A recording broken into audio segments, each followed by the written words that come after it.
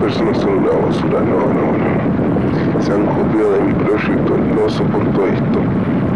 Su estúpido proyecto arruina el mío. Y encima de todo, también tiene efectos secundarios de los cuales voy a decir. Primero,